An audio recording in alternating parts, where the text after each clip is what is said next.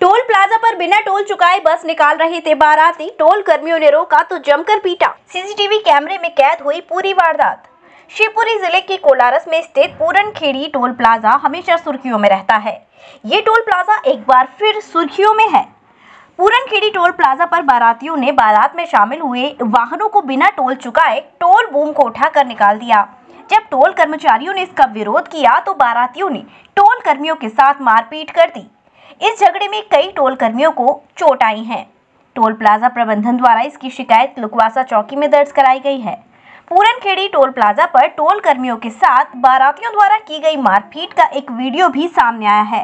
प्राप्त जानकारी के अनुसार शाम चार बजे एक बारात गुना की ओर जा रही थी। बारात में कई कार सहित एक बस भी शामिल थी। बारात जब पूरनखेड़ी टोल प्लाजा पर पहुँची तो बारात में शामिल कार से उतरकर कुछ लोग टोल बूथ पर जा पहुँचे और टोल कर्मियों को धमकाते हुए टोल बूथ पर लगे टोल बूम को उठा दिया। इसके बाद बारातियों द्वारा टोल बूथ की लाइन में खड़े ट्रक सहित दो अन्य ट्रैक्टर ट्रॉलियों को बगैर टोल दिए ही निकलवा दिया गया। बारात में शामिल करीब छह कारों को भी निकाल दिया गया। इसके बाद बाराती बस को निकालने वाले थे। इस दौरान अन्य टोल कर्मी उक्त टोल बूथ पर पहुँच गए, जहाँ वहाँ मौजूद बारातियों ने टोल कर्मियों के साथ झगड़ा शुरू कर दिया। तभी बस में से उतरकर कुछ बारातियों ने टोल कर्मियों के साथ मारपीट शुरू कर दी। टोल बूम को उठाकर ज़बरदस्ती गाड़ी निकलवाने समेत मारपीट का वीडियो भी सामने आया है।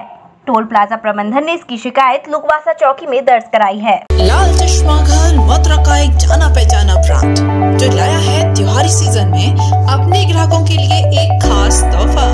आप लाल चश्मा घर पर चुनिंदा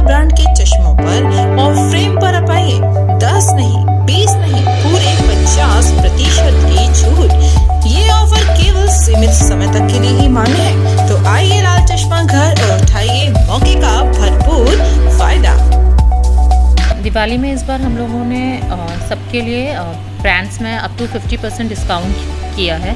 जितने भी अच्छे आपके ब्रांड्स हैं रेबन वो सब कुछ में, आप अगर आएँगे तो आपको काफ़ी अच्छे ऑफर्स मिलेंगे। डिफरेंट डिफरेंट ब्रांड्स पे डिफरेंट डिफरेंट ऑफर्स हैं तो आप आके उसका लाभ उठा सकते हैं।